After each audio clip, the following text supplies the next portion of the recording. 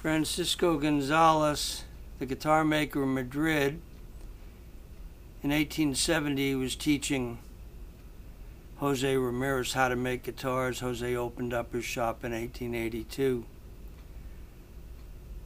But he, Francisco Gonzalez had quite a bit of activity going on at his shop. In 1857, he had the concert guitarist Antonio Cano, who was already publishing sheet music at the time. He had that gentleman teaching students at his workshop.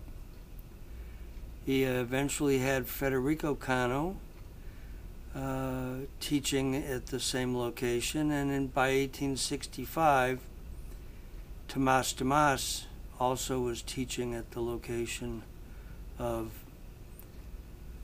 Francisco Gonzalez's workshop.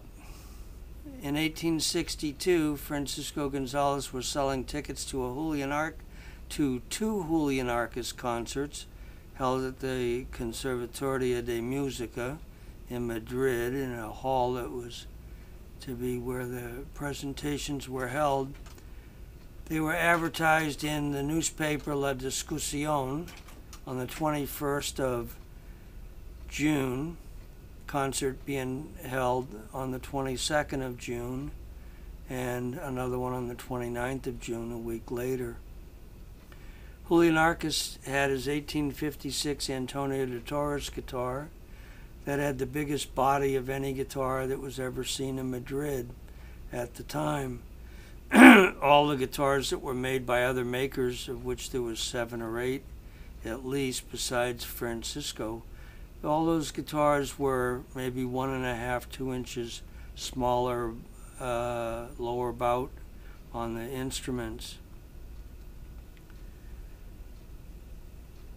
Also, Julian Arcas's guitar had a lute bridge. I have a Moyer Hermanos guitar from about 1900 in stock. It's got a lute bridge. And so we see that uh, in Europe and throughout the world it was a very turbulent time. Uh, just less than 90 days later, in the American Civil War, the Battle of Antietam took place, and 23,000 soldiers were shot and killed or wounded or ended up missing. At the same time in Europe, Otto von Bismarck was talking to the political officials of the 15 Germanic states uh, to try and unify them into what became Germany in 1870.